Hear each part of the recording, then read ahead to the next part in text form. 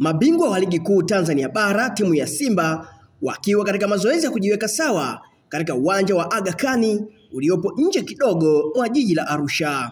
Mashabiki wakiwa nje ya uzio wakifuatilia mazoezi wamesema uwepo wa mechi nyingi za majaribio utasaidia wachezaji kufahamiana huku wakiomba mfumo rafiki wa kukiona kikosi chao kinapokuwa mazoezini. Tuna kero kuto kuingia leo uwanjani kwa sababu uwanja huu ni wa kwetu, na pili, tulivyonyimwa kuingia huku tunahamasika sana na kuto kuwaona live, kwa sababu tunaona live, lakini tulikuwa tunataka tuwaone kabisa yani, na tungependa sana zaidi tu, tu, tu, wangecheza mchezo wa kirafiki na iwe hapo hivi na turuhusiwe kuingia ndani kabisa na tuwaone live kuliko tunavyowaona kwa mbali vile. Kwa tumeumia mashabiki wa kuwa nje ya uwanja na Simba tunavyoiona hivi tunaumia sana, kwa sababu unaona tunaacha shughuli zetu, tuko hapa hivi uwanjani, tumekuja kufuata timu yetu.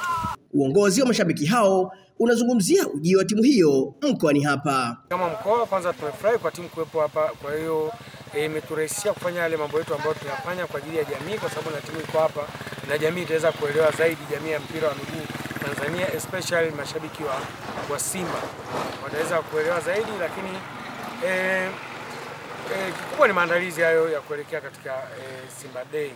Hii ni kambi ya pili kwa timu ya Simba ambapo awali iliweka nchini Moroko ikiwa ni sehemu ya maandalizi kuelekea msimu mpya wa ligi kuu bara. Diu Kimwasimwiko, Star TV, Arusha.